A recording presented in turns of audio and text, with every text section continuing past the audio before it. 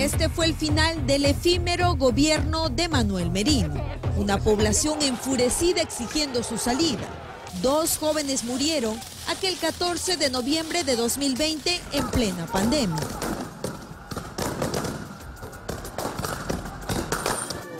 Manuel Arturo Merino de Lama es indicado como el principal responsable político. Sin embargo, hoy fue condecorado por la presidenta del Congreso de la República.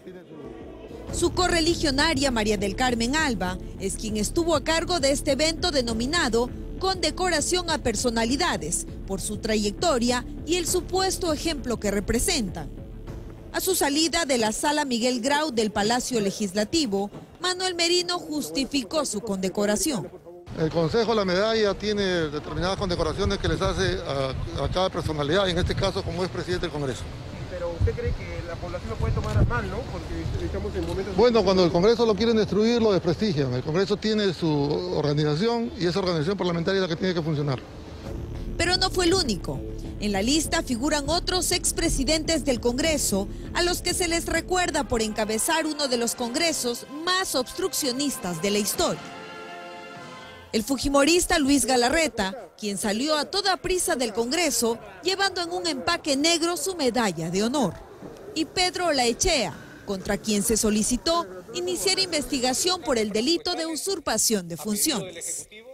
Bueno, yo sé que todo esto es parte de la percepción que se tiene en cuanto a, la imagen del Congreso. Creo que es una decisión abiertamente que le corresponde, ¿no? En este caso a la mesa directiva.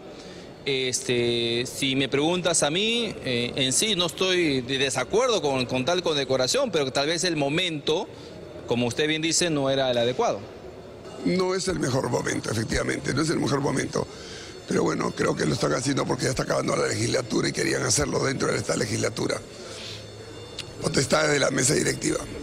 Entre estas personalidades a condecorar figuraba Uriel García, ex ministro de Salud de Acción Popular en los años 1980 a 1982. García Cáceres envió este oficio a María del Carmen Alba, informando que declinaba de tal reconocimiento por considerar que las actuales instituciones del Estado han perdido legitimidad y no representan a la voluntad auténtica del pueblo. Recordemos que ya hubo otro homenaje a Merino.